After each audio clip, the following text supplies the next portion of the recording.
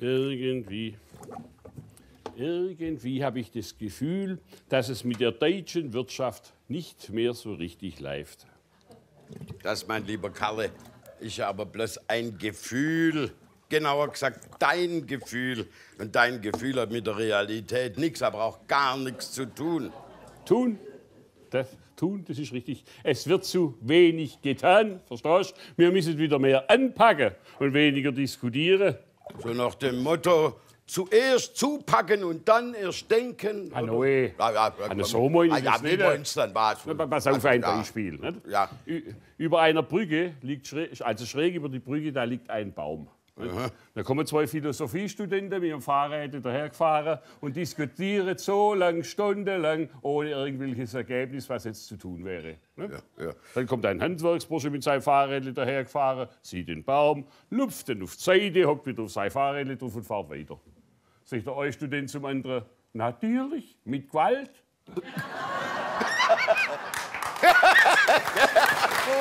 Ja, ja. ja. Jetzt. Jetzt. Jetzt weiß ich, was du meinst. Ja, ja. Wir brauchen wieder mehr junge Leute, die einen Handwerkler nicht verstehst, Äh. die zupacken, die, die, die äh, zum Beispiel die Wände anmalen oder Dä- Dächer decken oder Ja, machen. Azubis. Richtig. Ja. Wo das noch Lehrling hat, da haben wir mehr Azubis. Aber, aber weißt, wir brauchen nicht bloß Leute, die uns den Weg freiräumen, sondern auch Leute, die uns den Weg weisen. Also zum Beispiel Unternehmer und Politiker. Manch einer von denen wäre aber in einer Backstube besser aufgehoben. Zweifelst du etwa an der Qualität unserer Elite? Elite, Qualität. Nehmen wir mal allein die Führungsriege bei der Post. Keine Ahnung von Preisgestaltung. Stell dir vor, die verlangen für eine 70 Cent Briefmarke exakt 70 Cent. Da frage ich dich, wo bleibt denn da der Gewinn? Ja, ja. Äh, ja, ja, aber das ist einfach. Pass auf, weil eine 70-Cent-Briefmarke, die ist für einen Standardbrief von 20 Gramm. Ne? Da aber viele Briefe ja viel leichter sind, äh, liegt also in der Differenz zwischen dem, äh, äh, zwischen dem Höchstgewicht äh, und dem Realgewicht der, der Gewinn der Post. Oha. Also, ich das noch gar nicht gesehen. Ja, ja, ja. Sage ja, denke, also, weil das mit dem Fühlen kann nicht losgehen. Meinst Ja, ja. Also, so wie du mir das gerade erklärt hast, ist das völlig einleuchtend, gell? ja. Aber so gefühlt, gefühlt das stimmt in deiner Argumentation irgendetwas nicht. Ja, ja, ja denk halt drüber nach. nicht? Das wird doch schon kommen. Ja, ja, ja, ich denke, ich mache jetzt meine Ansage. hä? Ja, ja.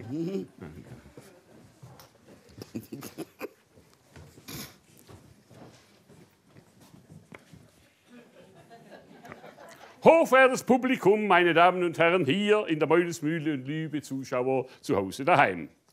Heute stehen bei uns auf der Bühne Michel Müller, ein begnadeter Komiker aus Franken, der Sie mit seinen Erlebnissen beim Doktor erfreuen wird. Und dann Hillus Herztropfen. So nennt sich das Duo Hiltrud Stoll und Franz Auber. Die waren in der Kirche. Und dann für unseren musikalischen Teil, wie immer, sorgt Herrn Stumpfes Zieh- und Zupfkapelle.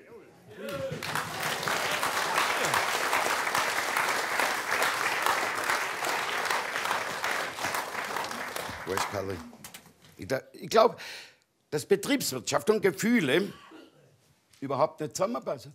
Ja, Also, aber äh, Wirtschaft und Wissenschaft, das passt eher.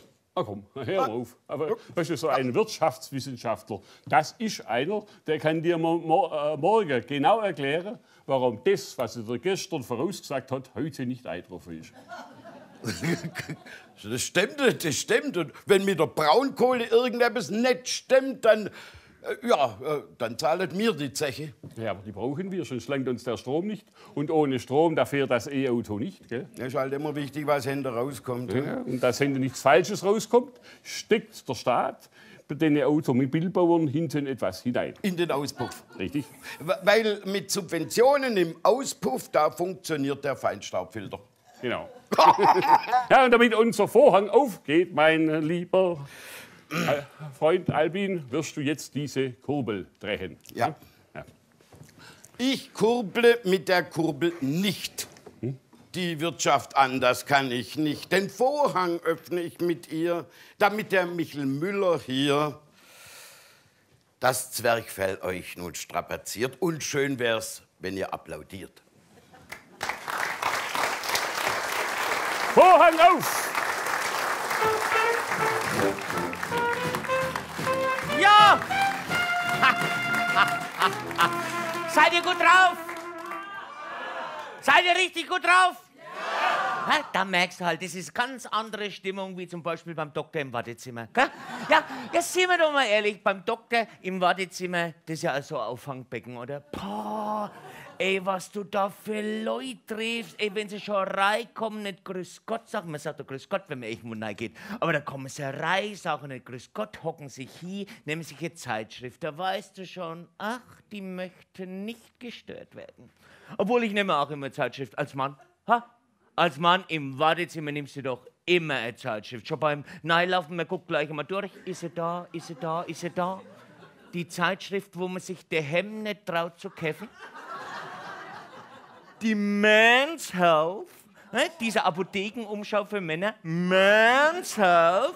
Mit diesem Muskelprotze vorne drauf. Trau ich mir der Hemm nicht zu kaufen. Gell? Im Supermarkt äh, nimmst du Men's Health mit. Ja, du musst mit dir noch an die Kasse. Die Kassiererin hockt da.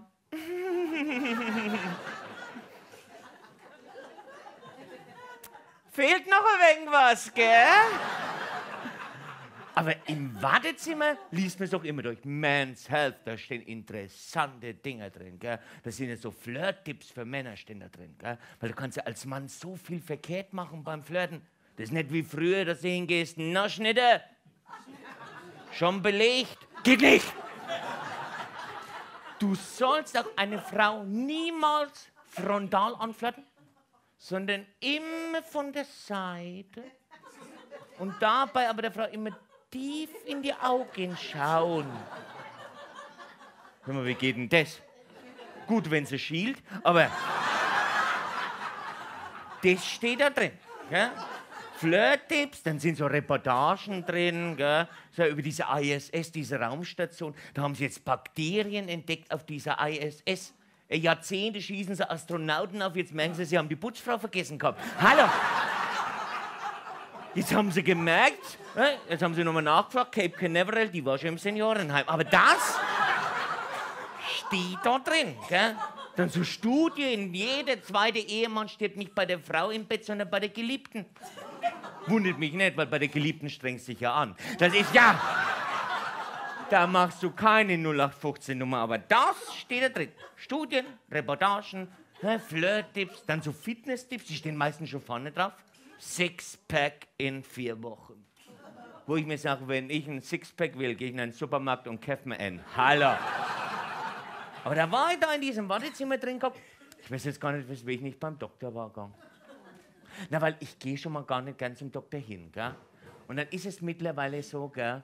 Der Doktor jammert ja mittlerweile mehr wie mir selber, gell? Das ist ja allgemein bekannt, gell? Hausärzte saufen, das ist ja Grundwissen, gell? Hausärzte saufen, ja, ich kann's verstehen. Bis jeder kommt rein, zieht sich aus. Ha! Da brauchst du schon mal Maria Grun zwischendrin, das kann ich verstehen. Ey, was die sich so tagsüber abgelassen müssen, ich möchte es nicht sehen. Ich möchte es nicht sehen. Na, war doch in der Zeitung drin gestanden. Da haben sie doch aus einer Hausarztpraxis nachts um halb eins die Putzfrau rotzbesoffen rausgeholt, weil die das Randalieren angefangen hat. Was hat die schon geputzt? Zitolin? Nebenbei noch das Schnapsdepot vom Doktor entdeckt. Hat die sich zusammengerüsselt. Hat die das Randalieren angefangen. Der Doktor war stinksauer. Nicht, weil sie randaliert hat, aber die hat keinen Schnaps mehr übrig gelassen. Der muss am nächsten Früh nüchtern an die Sache ran. Ja, der war am Abend fix und fertig. Den haben sie ins Krankenhaus einliefern müssen. Der war noch auf der Drache gelegen, hat noch gerufen, nicht in das Krankenhaus. Ich kenne den Doktor. Der säuft auch. Ja, Hausärzte saufen ja noch mehr. Hausärzte und Klinikärzte sowieso. Ey, Klinikärzte, die saufen einfach noch viel mehr. Kann ich auch verstehen. Ein Klinikarzt, ey, 178 Stunden am Stück sind die am Rödeln, da brauchst du mal einen Chimbim zwischendrin. Und dann sind es ja mittlerweile Ärzte an den Kliniken aus Russland, Polen, Tschechei, also lauter so Länder, äh, gib ihm! Ja, die operieren dich. Blinddarm. Obwohl du wegen dem Mandeln drin bist. Ja, war doch in der Zeitung drin gestanden, Arzt hat operiert mit 2,4 Promille. Und da hat der noch gesagt, das war bloß Restalkohol. ja, mit wie viel Promille hat er dann am Vordach operiert? Weißt, die operieren dich, die treffen sich draußen am Gang und wie war Operation? Was Operation? Ich habe gedacht Obduktion. Ja, die operieren dich, da passieren diese Behandlungsfehler, da fällt das Handy rein. Pup. Ach, ist auf stumm geschaltet. Nähen wir zu.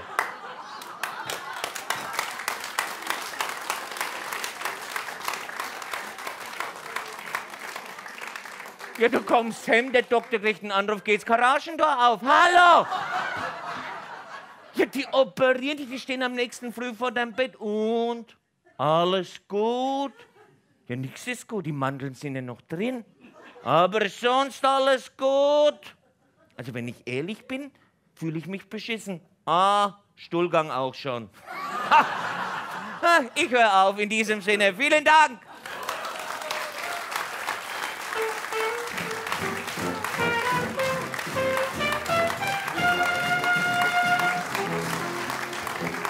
Ja.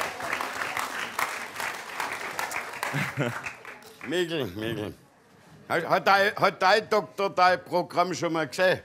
Ja, seitdem habe ich einen neuen Doktor.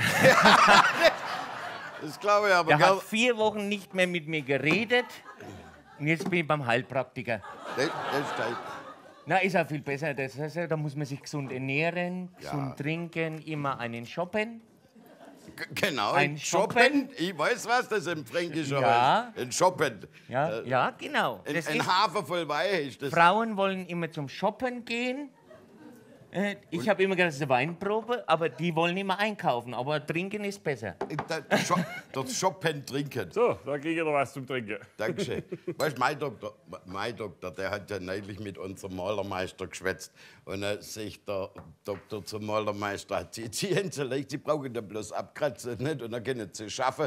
Und dann sagt der Malermeister, sie haben es noch geschickt, aber bei ihnen kratzen sie selber ab. Ja, aber,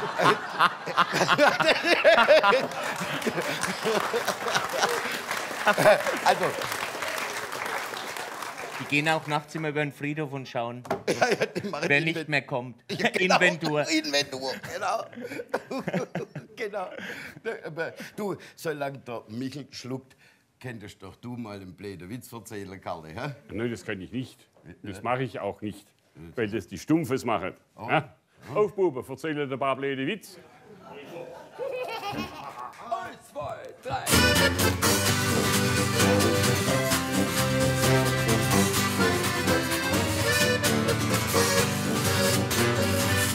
Achtung, Achtung! Jetzt kommt ein Blederwitz. Tombola beim Mäuerfest. Der Nobby hat voll Glück. Er gewinnt auch gleich den Hauptgewinn und nimmt die Klobwurst mit. Ein paar Tage später wird gefragt, ob Wurst auch funktioniert. Die tut mit Sau doch eigentlich nämlich lieber Papier.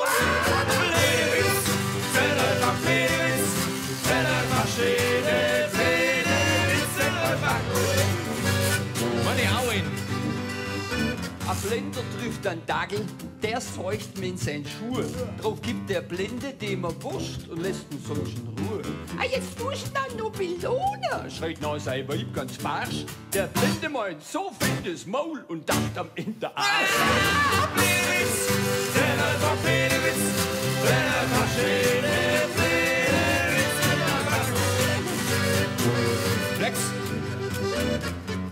Gehst beim Kurt an, dann geht sein Bibel an. Ich frage ganz brav, ist Papa oder Mama denn nicht da? Doch die sind gerade in der Schlafstube, sagt mir der kleine Mann. Oder im Bad, ich weiß nicht recht, wie später noch mal. Sogar das feine zwei, drei Mal und ich verwisch sie nie. Da frage ich, puh, was sehen die denn? Er sagt, Die suchen nie.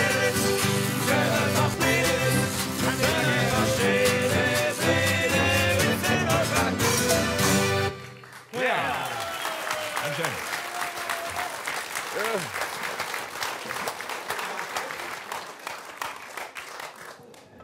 So, Du, Karl, so wie der Michael Müller war ja auch der Hermann äh, neulich äh, beim Doktor. Hm? Ja, Hermann, aha. und- Ja. Da sagt der Doktor, Jesus, wie kommt denn der Holzsplitter in Ihr Zung? Sagt der Hermann, du hättest neulich da Handgetrieben auf der Holztheke äh, einen Schnaps verschüttet. Ja, das typisch Hermann, der lässt ja keinen Tropfen lässt er verkommen. Da, da, da hat man, le- letzte Woche hat mir der, der Jörg erzählt, nicht? da hat er den Hermann ziemlich stark schwankend heimbegleitet. Nicht? Und unterwegs hat dann der Hermann außer sehr eine Dame angekrempelt. Nicht? Und die hat ihm spontan links und rechts einen Gosch nachgehauen. Sagt der Hermann bloß, hoi, bist du daheim? das der. Das, das, das sind dann Gefühle der anderen Art, mein Lieber. Wie meinst du das? Naja, wenn der, wenn der, der Bagger brennt, weil du einen Goschner gekriegt hast. Gestern hat er ja auch wieder eine gefangen. Aber von wem? Vom Bernhard. Der Bernhard war doch jetzt eine Woche lang auf, der, auf einer Geschäftsreise. Ja, ja. Gestern war noch geschwind auf ein Bier da. Ah ja, ja, und da hat er seinem alten Freund, dem Hermann, noch in den Gosch nachgehauen. Ja, so. So denn das? Also äh, der, der Bernhard sagt zum Hermann, Jan Kirt, du hast letzte Woche meine Frau getroffen. Sagt der Hermann, ja, so, die, du, die hat mir deinen neuesten Witz erzählt. Ah. Sagt der Bernhard, und wie war er? Sagt er, klasse, klasse, Mensch, ich bin hier vor Lachen aus dem Bett gefallen. Also, also du, dass wir jetzt da hinten nicht aus dem Rahmen fallen, wird das Beste sein, du machst den Vorhang auf. Ah ja. ja. Ah, gefühlt, gefühlt hat es hier 30 Grad. Gefühle sind nicht akkurat. Ge Gefühle sind nicht sehr präzise. Gefühlt habe ich die Anneliese. Doch die Gefühle andere sind. Äh, besser ist, ich kurble geschwind den Vorhang auf mit viel Gefühl, damit beginnen kann das Spiel. Vorhang auf für Hilus Herztropfen.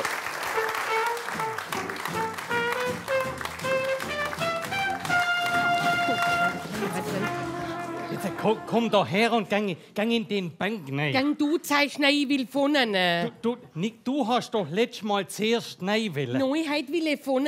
Sonst sieht man mich jeden. Ja, gehst du Und ich heute, sie auch nicht. Gehst du heute, wie Ja, und glaubst wenn ich der Pfarrer zieht, dann kommt bei mir keine Andacht auf. Ah, warte, bei, bei mir ist Andacht ewig gleich. Und, und wenn der Pfarrer mit, oh, mit Predigen anfängt, schlafe ich sowieso ein. Heute war ich geschlafen, das kann ich sagen. Was? Mathilde hat neulich im Bachhaus zu mir gesagt, du darfst alleweil in der Kirche schlafen. Jetzt, äh, Und du darfst so zusammengeschaffen aussehen. so sieht's aus, genau. Ja. Mathilde ist eine gescheite Frau. Aber du Jung, schön. Ah ja? Du bist schon in der Schule einfältig gewesen. Aber was wieder machen, gell? Dumm geboren, dackelhaft aufgewachsen und nichts dazugelernt. Ich mag Mathilde gerne. Ja, dann hättest du halt durchgenommen. Ah ja. Nachher ist man ewig gescheiter.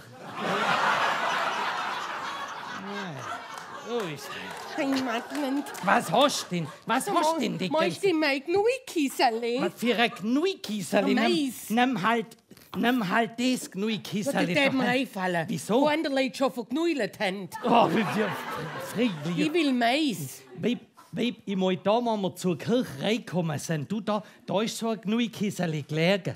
Ja, das hat so ein schmeckeles braune Farbe, hat das gehabt. Ja, wie unser Sofa daheim. Ja, Das ist heiliges meine. jetzt haben wir's. Weißt du, genau, den Stoff habe ich doch von meiner Oma, gell? Ja. Jetzt, gut. Ja, und vom, da habe ich das Sofa überzogen und vom Ja. Rest habe ich noch so ein Gnuikisserle gemacht. Freilich, kein Wunder, mächtelt unser Sofa so nach Oma. Meine Oma hat dich gemeichtelt. Ich sag doch nix, ich mein doch bloß. Maul halten. Ja, ich sag doch nix. Ah, ja. Komm, jetzt hol mir das Kisserle. Wieso denn? Und will man sonst wieder den ganzen Tag neu weiden? Glaubst du, wenn der nur einmal Gosch weidet? da war. Sag mal, wenn, wenn fängt denn der Pfarr mit der Kirche an? Der wird nicht fertig, was der und ich so den Frühschuppen. Weißt Halt du, dein Maul. Ist doch wahr, Ja, ja. der Basti hat doch schon angefangen mit der Orgel, Herr Schitter. Ma- Ma orgelt der. Aber bei der Orgel in der Orgel natürlich. Sag mal, der orgelt heute wieder einen Hinnerscheiß zusammen. Du, du, der, du, der, der kann nicht orgeln, aber den lernen sie Ewe spielen. Freilich. Mal. Der Basti orgelt schön. Katastrophe ist das. Der orgelt immer bis Kirche aus ist. Warte, das weißt du falsch. Das heißt, solange man orgelt, ist die Kirche it aus. Großer Gott, wir loben dich. Glaub, glaub schrei doch jetzt so, da kleppert ja meine Zeh im Mund drin. Jetzt ich bin doch heute Hellinger auf der Welt. Nein, das ist aber unneidig. Glaubst du? Das ist doch wahr. Jetzt halt dein Maul, jetzt kommt Litanei. Lit- Ja, genau. Das. Sag mal, Was, was ist denn? sag mal, machst du mein Gesangbuch? Was, kann ich, Ja, sag, heb ich- mal. Ja, ich, Sag mal. Ah, Hau doch. Ah, Jetzt lass mich gehen, jetzt hau. sag mal, Ich hau Weib, doch das Weib, Gesangbuch. Weib, wie- wieso hast jetzt du den starren Rauchfleisch mit in die Kirche genommen? Du lieber Gott, Hä? jetzt hau nicht daheim beim Kochen das Gesangbuch ins Kraut rein.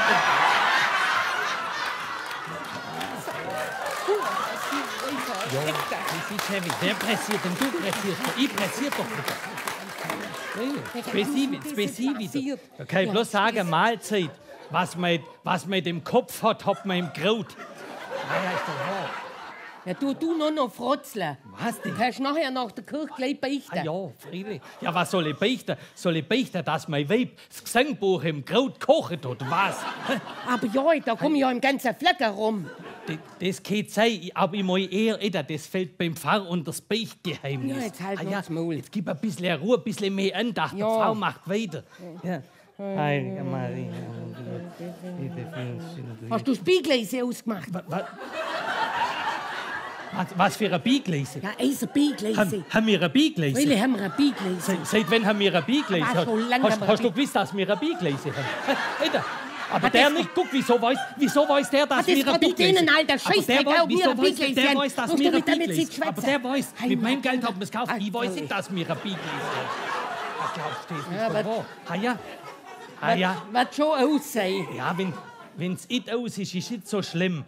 Unsere Feuerwehr hat schon lange keinen Einsatz mehr gehabt. Ah, du bist doch ganz recht. Wieso? Jetzt habe ich gestern die Fenster putzt.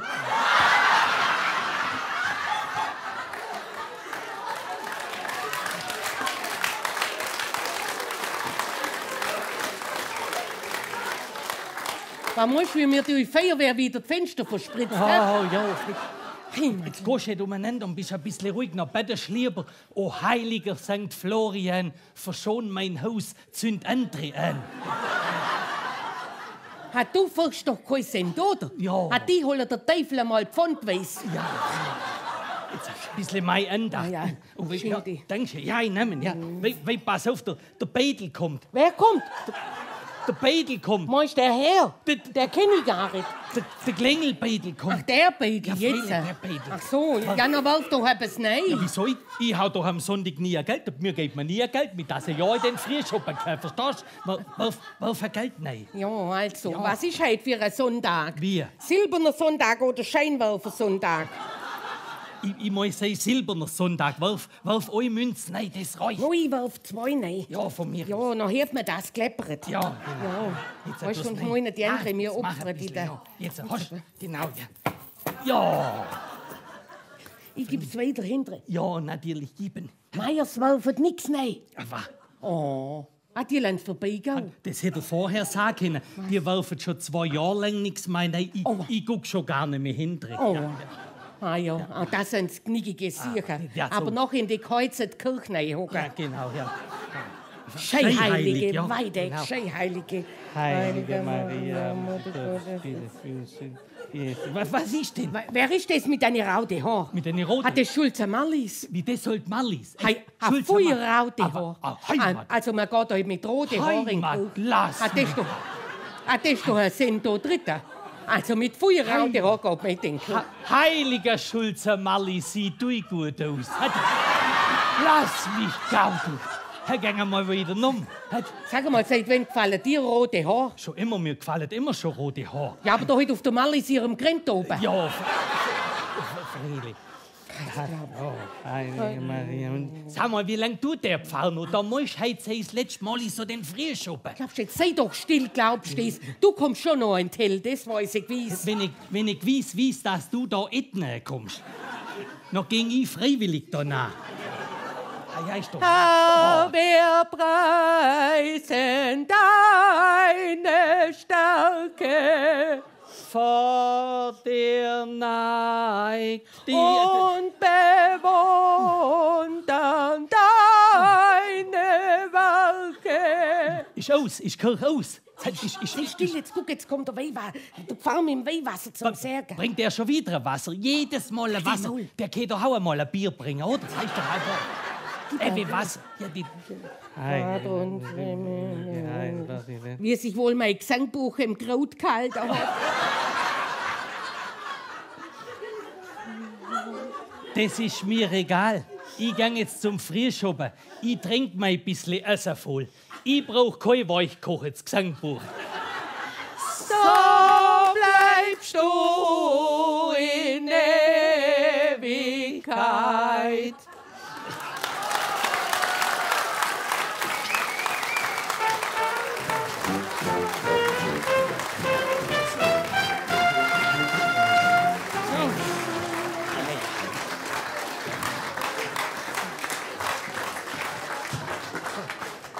Komm, Gott! komm schnauf. Freile Gott, gehst dich noch gell? Ja, jetzt, jetzt habe ich von einigen gehört, ja, was ist denn das für Schwäbisch?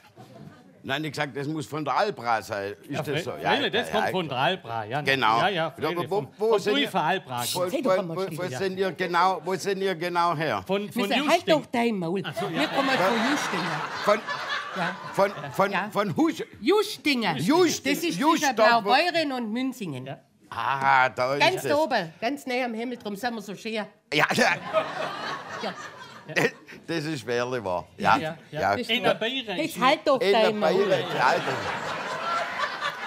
Willst Ja, das äh, sagen? äh, man äh, äh, Franz, ich habe gerade was fragen wollen, aber ich darf ja nicht. Ach so, Du darfst gern. ja, ja. Neu, neu, wo ist das genau, das äh, Justing? Ah, das ist also Jetzt pass auf, jetzt halt mal dein Maul. Das, ist, das ist mittler im Biosphärengebiet Schwäbische Alb. Ge äh, genau. Ja, und hinten auch geht's Oh, so viel duscht hat mein Meiter. Oh ja, also, macht schon Spaß mit euch. ja. Leider, leider habe ich die äh, schlechte Aufgabe, dieses Gespräch jetzt beenden zu müssen. Wir sind mit der Zeit um. Ja, Ah, ah, ah, Also Zeit für mein Schlussgedicht. freilich. Du, aber sag mal, Albin, wie machst du das eigentlich, dass es bei dir immer reimt? ja, das ist ja einfach nicht. Also, der Hände muss gleich sein. Aha, gleich. Gleich. Ja, Da Beispiel. Äh, Glaub nicht alles, was ich sag, sonst trifft dich noch der Schlag. Hm, So, Ah ja, gleich. ah, das ist alles. Ja, ja, das- Das ist schon einfach, das kann ich auch. Ja, Pass ja. auf. Lieber Albin, dichte nicht, sonst trifft dich noch der Schlag. Ist ja nicht gleich. Ja, Es muss ja auch nicht gleich sein, von mir aus in zwei Wochen.